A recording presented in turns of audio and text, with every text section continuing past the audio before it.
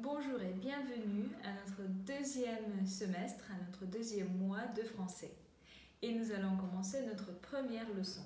Привет и добро пожаловать в наш второй семестр, ну это, конечно, громко сказано, скорее месяц изучения французского, уровень, на котором мы должны продвинуться от совсем нулевого до такого неплохого уверенного А1 с переходом на А2.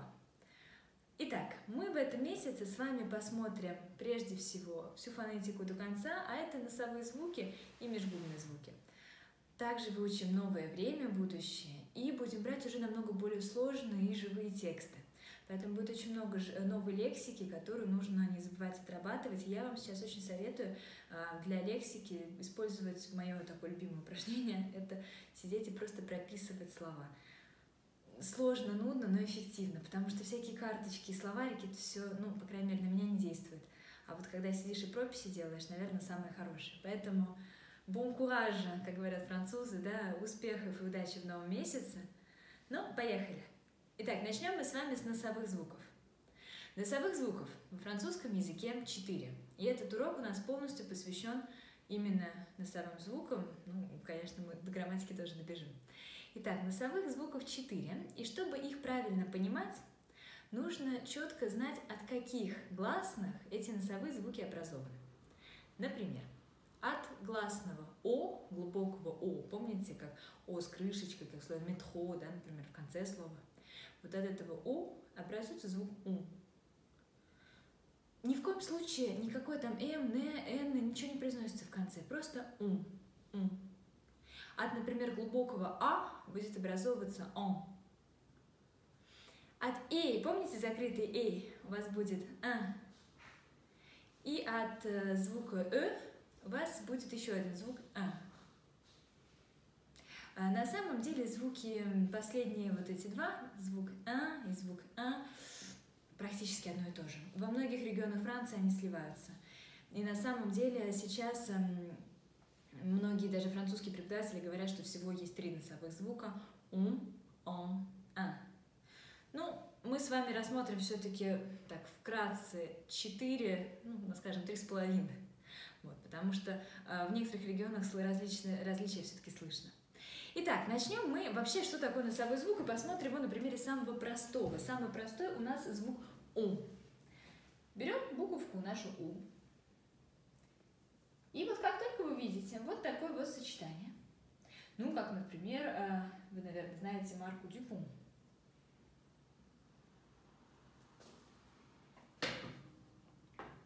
Как только вы видите сочетание ОМ, ОМ, которое стоит перед какой-то согласной, либо вообще перед, э, без всего. Ну вот, например, э, французское слово имя, да, или фамилия, это у нас le nom даже банальное ваше «нет», да, которое «ну», оно тоже «но».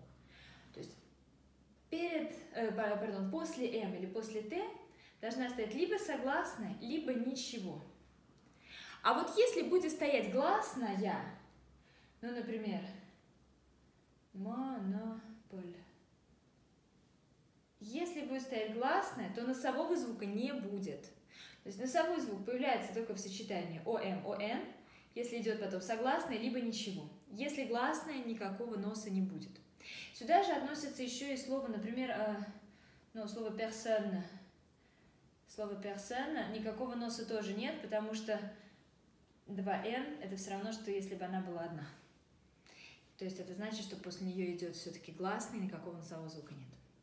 Вот и все. То есть носовой звук образуется тогда, когда вы видите сочетание ОМ, ОН, после которого не идет гласная. Давайте сразу их почитаем.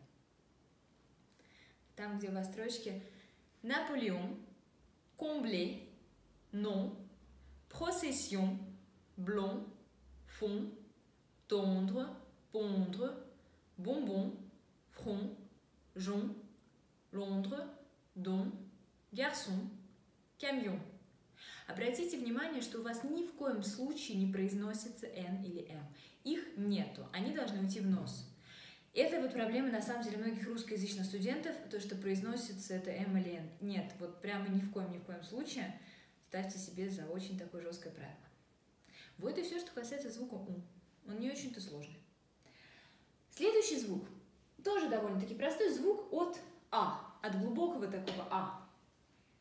И даст нам его сочетание АН, АМ, ЭН, давайте линию здесь прочерчу, ЭН, либо ЭМ.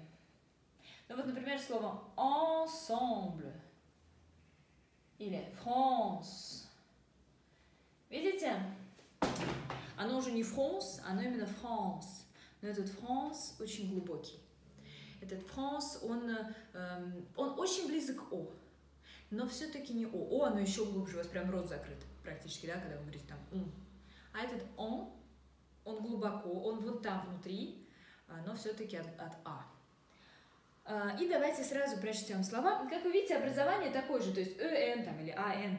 Какая гласная, неважно. Главное, что вы видите букву Н, перед ней какую-то гласную, там может быть О, может быть А, может быть все что угодно. И потом опять-таки идет согласная. Видите? И давайте сразу потренируемся. Клиент, empire, trente, français, dentelle, diamant, argent, temps, devant, assemblée, banque, évian, ensemble, galon, goéland, lavande, gant, lentement. Следующий звук, следующий носовой звук, я собак чешет на заднем плане, она любит прийти во время записи моих уроков. А, следующий носовой звук, который, я всегда, честно говоря, а, думаю, как мне его правильно объяснить сливать ли его со вторым или не сливать, но все-таки объясню вам так, как нужно, так, как действительно считается правильно по правилам классического французского. Так, следующий носовой звук – это звук, который произошел от «э». Помните, от «э» в слове «лед», да, это ваше было сочетание «ю» были всякие, да, вас помните эту буковку, этот звук, да? Значит, от этого «э» вы открываете рот и говорите такое «а», ну, можно сказать, что там как бы звучит А, но такое очень А, как это, утиное. Вот такой вот А дает нам сочетание Ю, Н, Ю, М. И день недели, например, понедельник, lundi. Lundi. Такая получается уточка такое, а? Э, некоторые лингвисты объясняют ее через букву Ю, через звук Ю, но как Ю сказать в нос лично я не могу, не знаю. Вот мне проще от Э такой между Э и А, да, и получается такой вот А. И давайте сразу прочтем мне эти слова.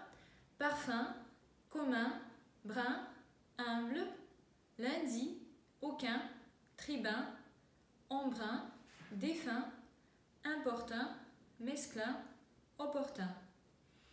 Что здесь важно? В отличие от ом и ум, этот звук рождается не э, сзади, а с, как бы в вашем рту. То есть не в горле, а он с передний звук. Поэтому он такой вот а. И, наконец, последний. Последний звук, звук, который, в котором у вас будет вот такое сочетание. Ну, как, например, какое-нибудь слово марка. Тамбра. Тамбра. Сочетание ИМ, либо ИН, как в слове тамбр. Сюда же еще мы напишем со звездочкой вот такое вот, как в слове «хорошо», «bien». Почему со звездочкой? Помните, что «эн» — это вообще-то «он». Но и «эн» — это «я». Чтобы сказать этот звук, нужно улыбнуться и приоткрыть рот, как делает опять-таки моя собака. Такое получается «а», «а», на улыбке, видите? Тогда вот, вот если улыбнуться на нем, то все точно получается. Давайте сразу прочтем его. Historien, épingle, 5, dauphin, prince, ainsi, main, 15, distinguer, indice, intact, raisin, s'installer, intérêt, dédain, gain, anodin, impact, cousin, frein, vaccin. Вот и получилось у вас 4 носовых звука. Он от О. Он от А. Un от Э и un от И. Вот эти два принято все-таки объединять.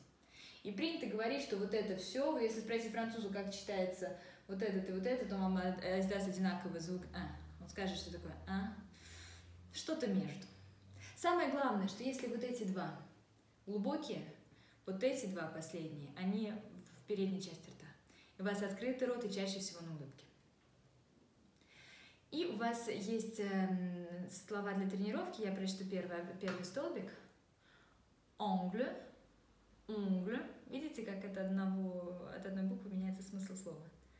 Pincement, pansement, vin, vent, vont, ambre, ombre, antérieur, intérieur, mensonge, intention. Ну а дальше уже вы сами. Старайтесь носовыми звуками э, слышать их разницу. Если вы четко понимаете, от какого гласного происходит тот или иной носовой звук, то все точно будет хорошо. И после такого сложного выступления с носовыми звуками мы сегодня говорим с вами про местоимение «он». Местоимение «он» Но мне скажете, зачем нам еще одно местоимение? Только что же было уже вроде я, ты, он, она, зачем нам еще одно? А, в русском языке вы часто говорите такие фразы по типу а, «Говорят, в Париже идет снег». Или «Здесь э, нельзя разговаривать громко». Или «Детей надо рожать до 30». Какие-нибудь такие фразы, вот, которые все говорят. Как говорит моя мама сразу, кто говорит. Вот когда вы используете такие общепринятые фразы, когда непонятно, кто это говорит и зачем, кому это нужно, то вы используете как раз местоимение «ум». Местоимение «ум» а имеет ту же форму, что «иль» и «эль». Ну, то есть, например, «on dit», «on fait», «on parle» и так далее. То есть после него глагол стоит в форме третьего лица единственного числа. И у вас здесь есть несколько примеров по типу, да, говорят, ваш сын работает в школе, он dit que votre fils travaille à l'école, on ne fume pas ici, тут не курит, on peut acheter ce livre dans ce magasin. Вот вам много примеров использования этого он. Для безличных фраз. Но в настоящее время он все больше и больше заменяет местоимение «мы». Вместо того, чтобы сказать «давай поужинаем», Вместо того, чтобы сказать, там, не знаю, например, nous allons, nous, nous, nous allons au restaurant ce soir, да, мы пойдем сегодня в ресторан, француз скажет on va ce soir au restaurant. Вместо nous allons скажет on va. В чем, почему такое происходит? Ну, потому что, короче, быстрее. Nous allons и on va как-то попроще. Это прокатывает для разговорной речи. Действительно, в разговорной речи очень часто он заменяет ну. Вы можете говорить и так, и так. Ваше «ну» не будет смотреться каким-то устаревшим или странным, но вы, э, если слышите, слушаете французов, если у вас есть возможность общаться с носителями, то вы это «он» услышите там, в три раза чаще, чем «ну». На письме э, мы так писать не можем. На письме все-таки, если это «ну», так это «ну». Вот. Ну, я не говорю сейчас про смс, да, я говорю про официальные письма. А, если когда-нибудь экзамены вам придется сдавать на французском языке, то, например, Дальф, э, ну, Дальф, ладно, Дальф, Дельф, ладно, а вот Дальф, который на C1, там достаточно требовательно. Вместо «ну» э, вы «ум» писать не можете. Но в разговоре вы его услышите, поэтому это самое, наверное, его часто распространенное э, использование. On va au cinéma ce soir, on va lire ce livre, мы будем читать эту книжку. Qu'est-ce qu'on va faire demain, что мы будем делать завтра. Вот постоянно вот этот ум. В принципе, он может любое местоимение заменять. Ну, даже если по-русски вы говорите, у вас, например, маленький ребенок нашкодил, и вы говорите, ой, какие мы сегодня э, непослушные. Вы же тоже по-русски говорите «мы». Тоже вы используете другое местоимение, чтобы обратиться на «ты» к ребенку. Вот в таком случае мы тоже можем использовать в французском «он». Ну, это уже скорее речь такая, это скорее просторечие, да, и довольно редкое использование. А так, конечно, «ум» э, идет больше либо для безличных фраз, либо вместо «мы». И у вас здесь есть э, фразный перевод, как раз ним потренироваться. Ну и, наконец, мы добрались с вами до текста. Я читаю с вами текст. У нас ближайшие два урока. На этой неделе будем говорить про Париж. Вот, я небольшой фанат города, но э, я считаю, что, конечно, нельзя изучить французский, не зная каких-то основных, самых простых вещей про Париж. Я думаю, что вы все бывали в этом городе, все его, э, ну, кто любит, кто нет, это уже такой момент, но знать какие-то основные моменты про него нужно, а если знать их на французском и сказать про это, так это еще лучше. Итак, поехали посмотрим на наш текст. Céline adore Paris. C'est sa ville, euh, la ville de ses rêves. Elle habite à Paris depuis 2010 avec sa famille. Elle y travaille. Céline fait des visites guidées à travers Paris. Elle aime ses rues, ses monuments, ses petits cafés. Ses deux quartiers préférés sont Montmartre et le quartier latin. Voici ce qu'il raconte. Montmartre est un quartier de Paris qui se trouve au nord de la ville. Montmartre est un ancien village qui devient parisien en 1860. Montmartre est une colline au point culminant de Paris avec 130 mètres. Montmartre est un des lieux touristiques les plus fréquentés de Paris. C'est dans ce quartier que se trouve la basilique de Sacré-Cœur. Le quartier est connu pour ses vignes et ses ruelles. Beaucoup de peintres célèbres ont vécu dans ce quartier. Le quartier latin est un quartier de Paris sur la rive gauche de la Seine. On l'appelle quartier latin parce que dans les écoles et les universités du quartier, on parlait latin. Son cœur historique est la Sorbonne. L'université de la Sorbonne date de 1258. Elle est l'université de France la plus connue. Son fondateur s'appelle Robert de Sorbonne. Вот такой немножко э, туристический текст, упрощенный в Википедии. Вот, но этот текст вам нужно будет пересказать. Подробный пересказ – это значит почти наизусть. Ну, в вашем случае почти наизусть, да? На более высоких уровнях пересказ это все-таки уже не наизусть. Но пока, да, чтобы использовать, заучивать лексику, а тут она, в принципе, неплохая и важная, ну, может быть, кроме слова холм, хотя никогда не знаешь, где пригодится слово холм. А, все остальное нужно знать. Итак, что здесь хочется мне быстренько подсказать про вокабуляр? Слово «и», наречие «и», такое короткое одна, в одну букву, ставится всегда перед глаголом. У вас есть фраза «elle y travaille», да, в самом начале. Этот «и» ставится всегда перед глаголом. Например, «я здесь», «j'y suis», да? или «я туда иду», «j'y vais». То есть этот «и» ставится всегда перед глаголом. Так, ну если une rue – это улица, une ruelle – маленькая улочка. Здесь достаточно легко. Monument, quartier, хорошо, raconter тоже нормально. Глагол se trouver, он возвратный. Мы не брали еще возвратные, вы с ними чуть-чуть уже столкнулись в прошлом месяце. Подробно мы будем изучать в следующем месяце. Но пока вот обращайте на них внимание. В общем-то, это то же самое, что в русском. У нас есть э, находить и находиться. Вот то же самое. Так, затем, что здесь еще? Une vigne. Ну и, в принципе, да, ничего такого интересного больше здесь нет. Ну, слово правый, левый, да, droite и gauche. У вас есть упражнение, где нужно ответить на вопросы, répondez aux questions. И перевод. Самое главное, я обязательно жду вашего пересказа. Поверьте, когда вы записываете аудио в WhatsApp, слышно, читаете вы или нет. Поэтому постарайтесь выучить этот текст, это вам очень-очень пригодится, особенно э, для работы со следующим текстом, который будет у вас в четверг. Самое главное, тренируйте фонетику. Этот текст отчитывайте прямо по много раз э, перед зеркалом, чтобы понять четко, когда какой звук. Там много носовых. Вот, так что будьте внимательны. Bon courage et à bientôt!